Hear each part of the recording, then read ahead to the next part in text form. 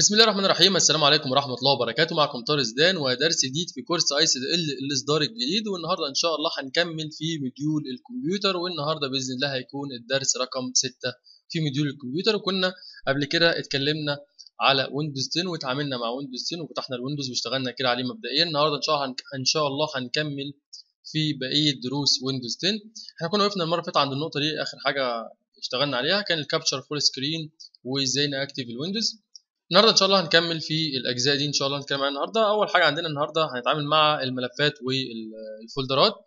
هنتكلم إزاي نعمل أو create folder جديد ونسمي ال folder ده أو ال file ده. تعالوا كده نشوف ونجرب مع بعض. تعالوا كده على سطح المكتب مثلا. هنا كده أجي في أي مكان فاضي في المكان اللي أنا عايز أعمل فيه folder جديد. click يمين و new و folder. كده أنا عملت folder جديد. أسميه أي اسم. ولكن ICDL كده أنا سميت ال folder. حاجة مهمة جدا يا جماعة وأنا بعمل المسميات عندي في الفولدرات أو الفايلات إن أنا أسمي الاسم يكون بيوصف الحاجات وصف دقيق. يعني ما اجيش كده مثلا أروح عامل new folder عملت new folder حطيت فيه الحاجة اللي أنا عايز أحطها زي صوري فيديوهاتي أي حاجة عايز أحطها عليه أو data خلاص قفلت خلصت قفلت الجهاز. تاني يوم بقى أجي أدور بقى على الحاجة. طب أنا حاطها فين يا ترى؟ فين المكان اللي أنا حاطها فيه؟ هنسى مش هفتكر. فدايما ناخد بالنا يا جماعة إن إحنا نحط مسميات صحيحة عشان نعرف نوصل لل file بسرعة. يعني دلوقتي أنا حاطط file هنا أو فولدرات أو حاطط حاجات جوه ال folder اللي اسمه ICDL ده. لو جيت بكرة أدور عليها وأنا نسيتها ه search ICDL هلاقي ال folder هو أعرفه. غير كده كمان قدامي أنا هو الشاشة أنا لما أشوف كلمة ICDL على ال folder ده اعرف إن ده كله خاص بكورس ICDL لكن new folder ده أنا عارف جواه إيه؟ ما أعرفش جواه إيه. فبالتالي تسمية الفولدرات ده حاجة مهمة جدا عشان بتوصف لي اللي جواه أو بتساعدني إن أنا أعرف أوصل له بعد كده بسهولة. لو عندي folder وعايز أسميه أو أعيد تسميته تسميته من جديد هعمل إيه؟ click يمين عليه كده و rename وهكتب أي اسم عليه مثلا زي ما أنا عايز وزي ما قلنا يكون بيوصف الحاجة اللي إحنا هنشتغل عليها أو اللي إحنا هنحطها جوه طيب آه نتكلم بعد كده إزاي أعرض خصائص ال folder ده جواه إيه وامكانياته إيه والكلام ده كله. تعالوا مثلا على folder زي ده MS Office 2019 click يمين عليه properties عشان أعرض كل الخصائص بتاعته. حاجة هنا أقول لي حجم ال folder أهو.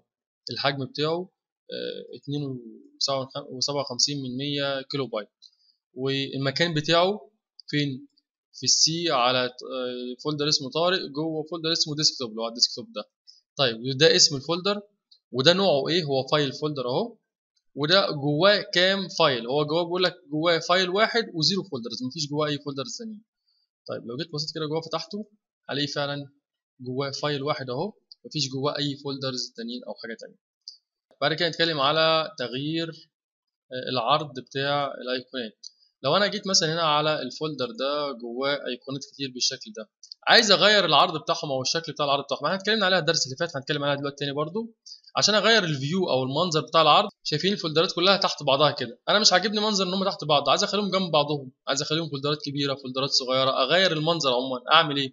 حاجة كده click يمين وأختار view view ممكن أغير منها أي منظر أنا عايز أغيره أو أختار الشكل العرض اللي أنا عايز أعرض بيه. ممكن أخليها large icons يبقوا بالشكل ده كده. ممكن أخليها view extra large عندك بقى كل الحاجات دي كلها أنت دور فيها على اللي يعجبك. أنا بحب دايما ال details عشان بشوف ال folder بشوف البيانات اللي أنا محتاج أشوفها قدامي هنا. طبعا لما تخلي العرض بتاعك بال details بيبقى لك هنا اسم ال folder أو اسم ال file سواء كان folder يعني ده folder اللي لونه أصفر اتفقنا إنه folder. وأي حاجات تانية بتبقى فايلات. فال folder هو اسمه أو ال file اسمه وهنا ال date modified آخر تاريخ عدلت عليه أو تم إجراء تعديل عليه. وهنا نوعه الحاجة دي نوعها إيه ده file folder أهو لكن ده مثلا مكتوب له PDF file. وهنا حجمه هنلاحظ إن حجم الفولدرات ما بيطلعش ما بيظهرش قدامك لأن حجم الفولدرات جواها حاجات أصلا متغيرة.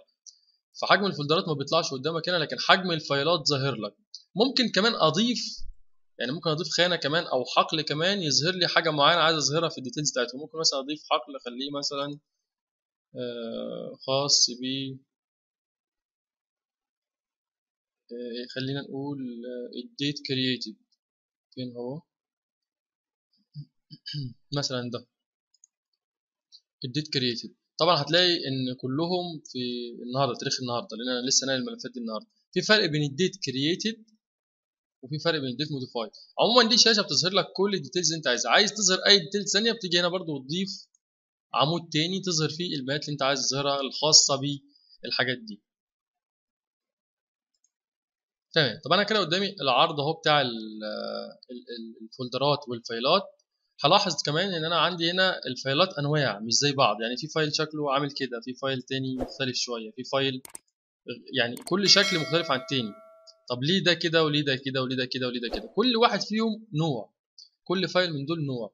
ممكن ألاقي ال file ده شكله زي ده بالظبط مكتوب عليه كلمة PDF لأن الاثنين دول نفس النوع. طيب بعرفها إزاي؟ أو بعرف أنواع الفايلات اللي عندنا إزاي؟ في فايلات بتبقى اسمها بي دي اف بي دي اف ديت فايلات بتبقى زي ال Word كده بس فايلات ما بعدلش عليها. بتبقى جواها كتابة وصور وحاجات كتيرة زي ده مثلا لو فتحته كده دلوقتي ده file PDF أهو. ما بقدرش أعدل عليه. بقدر بس أقرأ اللي جواه زي كده لكن ما اعدلش عليه. ده نوع من أنواع الفايلات PDF في فايلات تانية compressed مضغوطة. هتلاقيها مثلا ظاهرة لك بشكل الكتب المضغوطة وهنا مكتوب لك جنبها WinRAR archive أو compressed أو أي حاجة من دي. وفي صور بتبقى نوعها PNG زي كده. وفي JPG. فأنا دي كلها أنواع من أنواع الفايلات وفي طبعا ملفات Word وملفات Excel وملفات PowerPoint ده ملف باوربوينت عرفت إزاي إن ملف PowerPoint أهو مكتوب أهو. Microsoft PowerPoint طيب الحاجة الثانية اللي عرفت بيها برضو ال file ده نوع PowerPoint إزاي من الامتداد بتاعه؟ شايفين ده امتداده في الآخر dot PPTX طب أنا هجيب الامتداد منين؟ زي ما اتكلمنا الدرس اللي فات على دي الواجهة بتاعه العرض بتاعه الفولدرات أو الفايلات أو أي حاجة بتبقى فوق هنا حاجة اسمها title bar مكتوب فيها اسم الحاجة اللي أنا فاتحها ال folder اللي أنا فاتحه ده أو حاجة زي كده. وفي هنا ال menu bar ده فيه كل المنيو بتاعتي اللي أنا بشتغل عليها زي الهوم والشير والفيو الهوم دي كده اسمها ribbon home ribbon يعني دي اسمها ribbon home وده اسمها share ribbon ودي view ribbon كل واحدة من دول اسمها ribbon كل واحدة من دول تحتها أدوات. الأدوات دي بتظهر لي في حاجة اسمها tools bar وإحنا قلنا قبل كده إن ال tools bar ده بيختفي مش موجود معايا إلا لما أدوس على المنيو بتاعته. تظهر لي. طب أنا عايز أخلي ال tools bar ده ظاهر على طول؟ قلناها في الدرس اللي قبل كده. بدوس على السهم الصغير ده كده يبقى ال tools bar أهو ظاهر لي على طول. طب أنا عايز أظهر امتدادات الفايلات عشان أعرف أنواعها إيه. زي ما أنا ظاهرها عندي كده. أنت عندك على جهازك ممكن ما تكونش ظاهرة الامتدادات دي. عايز تظهرها تظهرها منين؟ بتيجي هنا من view وبعد كده تقول أو تعمل علامة صح على file name extensions كده بيظهر لي جنب كل file ال extension بتاعه. يعني كده لو جيت خفيتها بص كده دلوقتي كله اختفى. أنا بقيتش أعرف بقى دلوقتي دي إيه ودي إيه ودي إيه ودي إيه بعرفها بس من ال type بس ممكن ال type ده يتوهني شوية. لكن في ال extension أنا بعرف مجرد ما أدوس ال extension كده بعرف ال PNG ده ده صورة. ال PDF ده ملف PDF ال RAR ده ملف مضغوط. ال PPTX ده ملف PowerPoint ممكن ألاقي doc doc بس كده. doc ده يعني ملف Word. لو جيت هنا مثلا هلاقي doc و docx. doc ملف Word بس من الصيغة القديمة لحد 2007 docx ده من اللي بعد كده 2010 و13 و16 زي كده مثلا. أهو ده docx. ممكن ألاقي Excel برضو. ممكن ألاقي حاجات كتيرة. يعني في كذا عندي كذا امتداد فدي كلها أنواع الامتدادات الموجودة عندي. ودي أنواع الفايلات الموجودة عندي. في صور في ملفات Word في ملفات Excel في ملفات PowerPoint في ملفات مضغوطة وفي ملفات PDF إحنا عندنا كذا نوع من الفايلات. وطبعا في كمان صوت وفي فيديوهات.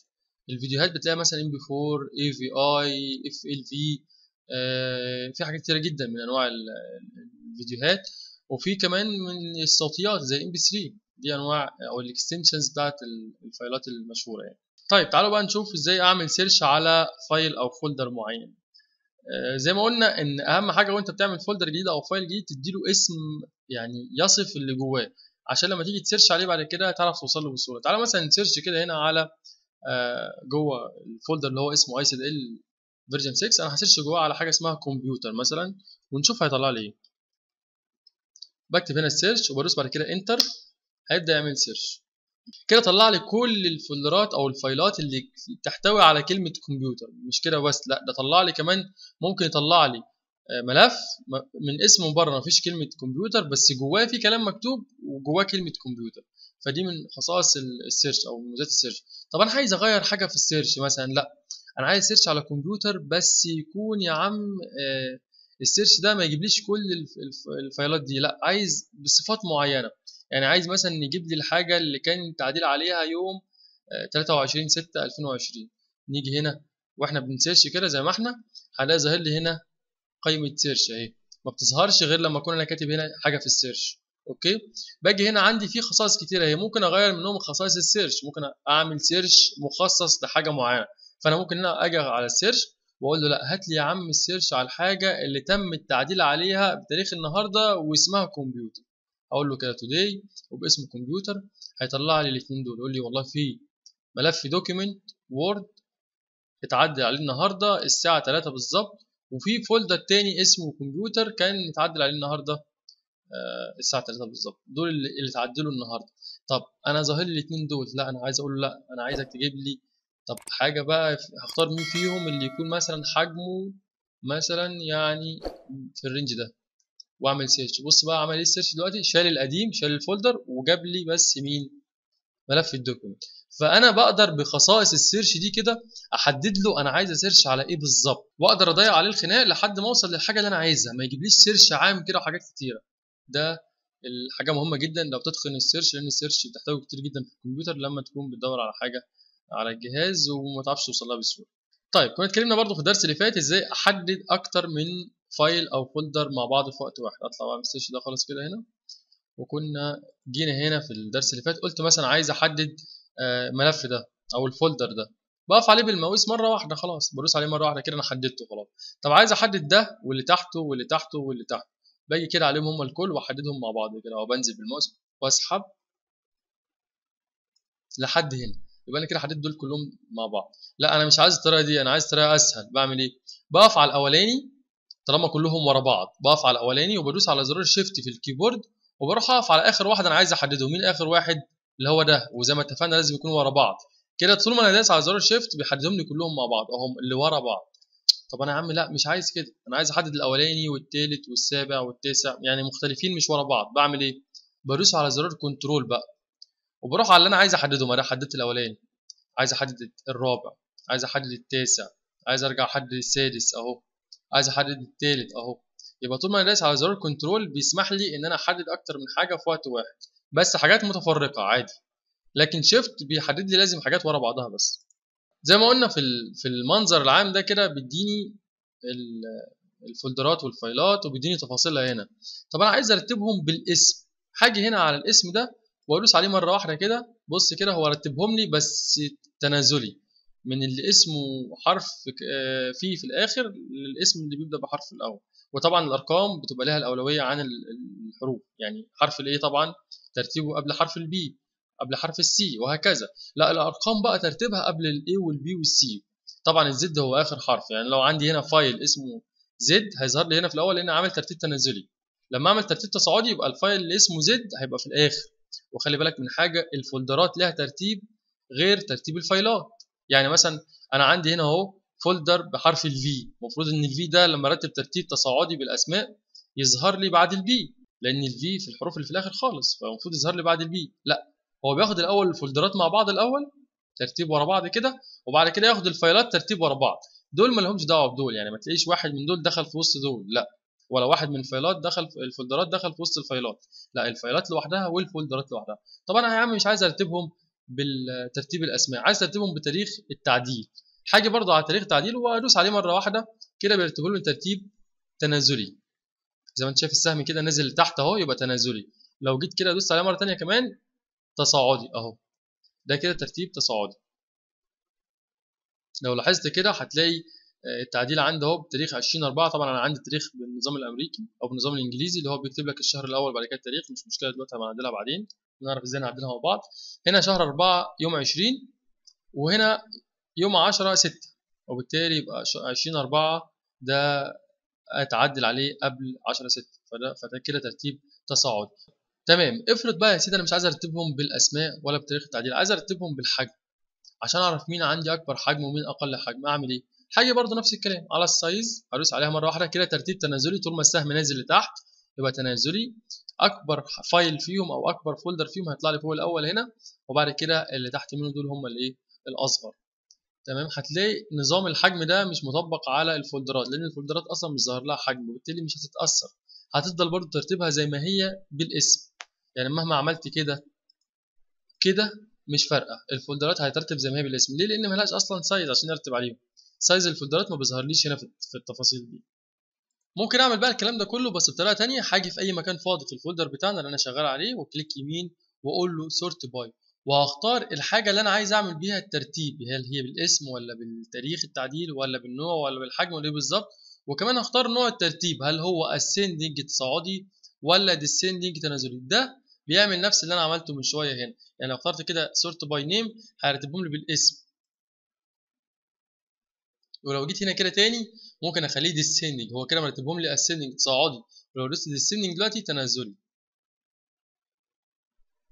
طيب كنا اتكلمنا برضو قبل كده إن إحنا إزاي نحذف ملف في ال recycle bin وإزاي نرجعه تاني. تعالى مثلا عندنا ال file ده عايزين نحذفه. هنيجي عليه click يمين وندوس delete هلاحظ كده إن ال recycle bin لو فتحتها كده هلاقي جواها اللي إحنا لسه حاذفينه من شوية. عايز أرجعه تاني ممكن أدوس عليه كده وأقول له restore هيرجع تاني مكانه أهو. هيرجع هنا على سطح المكتب تاني أهو. طب لو جيت كده تاني عملت له delete وعملت ده كمان delete أنا كده عندي اتنين آه اتحذفوا جوه ال recycle bin عايز أرجع ده بس هقف عليه كليك يمين و restore ممكن برضو restore من هنا أهي. هحدده وأقول له restore شايفين دي كده؟ restore كده أنا برجع ال file ده مكانه تاني. ممكن ده كمان نفس الكلام. طب عايز أرجعهم كلهم بقول له restore all items لما ادوس restore all items كده وأقول له yes رجعوا الاثنين مع بعض اهو مع المكتب زي ما كانوا عايز أحذفهم تاني كليك يمين أحددهم كليك يمين delete طب أنا حذفتهم وعايزهم بقى ما يرجعوش بس مش عايزهم يفضلوا في سلة المهملات دي. لأن يا جماعة خلي بالكم من حاجة إن أنتوا لما تعملوا delete لأي file عندكم ويفضل في ال recycle bin معناها إنه ما اتحذفش من الجهاز هو اتحذف من قدامك بس لكن لسه موجود على الهارد وموجود في ال recycle bin ممكن ترجعه تاني. وبيبقى واخد مكان كمان. يعني أنا مثلا لو عندي أفلام وعندي ألعاب وحاجات كتيرة جدا واخدة مساحة كبيرة جدا من الهارد عايز أحذفها يا عم مش عايزها خلاص. فعملت لها delete هلاحظ إنها راحت ال recycle bin وهلاحظ كمان إن الحجم بتاع ال partition ما قلش زي ما هو المساحة حمراء لسه زي ما هي ما قلتش ليه؟ لأنهم كلهم راحوا ال recycle bin طب إمتى المساحة اللي عندي تقل؟ رغم إن أنا حذفتهم تقل لو فضيت ال recycle bin لو عملت empty recycle bin شايفين دي كده؟ empty recycle bin كده أنا فضيت ال recycle bin لما فضيهم كده اتحذفوا خالص من على جهاز الكمبيوتر وكده فضوا مساحة اللي هم كانوا واخدينها. يعني على حسب الحجم اللي كانوا حاجزينه في الكمبيوتر خلاص كده أو ال hard disk خلاص كده هم اتحذفوا وفضوا المكان ده. طبعا ممكن أعملها برضو طبعا بعد ما أحذف حاجة ما ينفعش أرجعها تاني خلاص طالما اتحذفت من ال recycle bin ما ينفعش ترجع خلاص. ممكن أعمل الطريقة دي برضو تاني عن طريق إن أنا مثلا تعالوا نحذف ده دلوقتي. ممكن أعملها من هنا recycle bin من بره كده click empty recycle bin بس طبعا لازم يكون جواها حاجة. يعني هي لو فاضية لو عملنا restore دلوقتي. وجيت عملت empty recycle bin بص كده مش ظاهرة لأن هي فاضية أصلا ما فيهاش حاجة. لكن دي ما تظهرليش غير لما يكون جواها حاجة. جواها حاجة محذوفة أهي أقول له empty recycle bin كده ال folder والحاجة اللي جواها كلها إيه اتحذفت والمكان اللي كانت حاجزاه على ال hard disk خلاص فضي. هنقف لحد كده النهارده وهنكمل إن شاء الله الباقي في الدروس اللي جاية. لو عجبك الفيديو ده ما تنساش تعمل subscribe للقناة و like و share للفيديو والسلام عليكم ورحمة الله وبركاته.